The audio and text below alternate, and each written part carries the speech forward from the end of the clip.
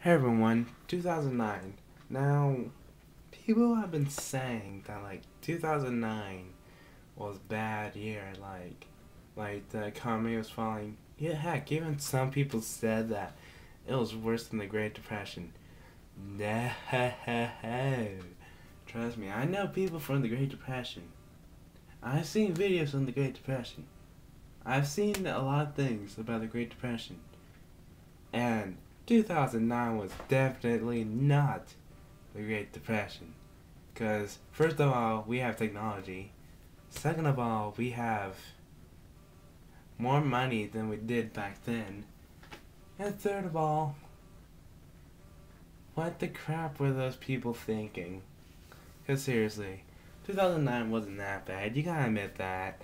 Um, like, sure, there was some downpours, but like the release of Vista. But still, 2009 wasn't that bad. And, um, yeah. Basically, that's all I really have to say, and I'll be seeing you.